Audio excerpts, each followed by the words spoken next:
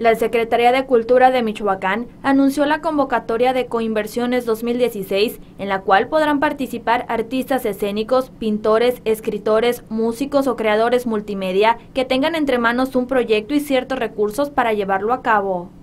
En torno a esta convocatoria, la jefa del Departamento de Programas Estatales del Sistema Estatal de Creadores, Ramona Polino Coronado, informó que el programa está abierto hasta el 28 de octubre, por lo cual se está llamando a los creadores para que presenten proyectos de producción artística que tengan una salida al público y que sean trabajos que consideren el beneficio comunitario.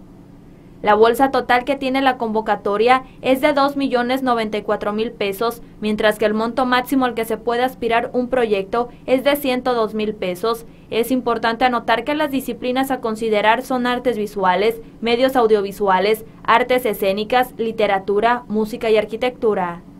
Asimismo, la funcionaria afirmó que un requisito es que los proyectos tengan una coinversión, ya sea en especie o dinero. Eso significa, dijo, que a la par del recurso solicitado a la SECUM, los artistas ya tengan el respaldo de un tercero, ya sea particulares, empresas o instituciones.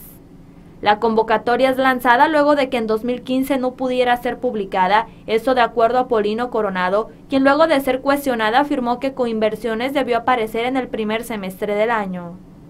En este caso, toda vez que se presentó un conjunto de proyectos de parte del Estado a la Secretaría de Cultura Federal, se tardó en la revisión de todos esos proyectos, pero afortunadamente ya está, mencionó la funcionaria de la Secretaría de Cultura.